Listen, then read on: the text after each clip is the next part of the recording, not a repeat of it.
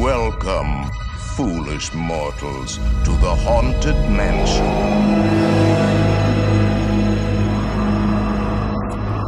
I am your host, your ghost host.